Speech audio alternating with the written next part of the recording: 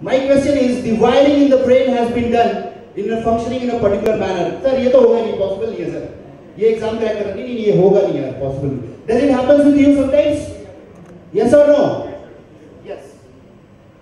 Now my question is, can the brain be rewired?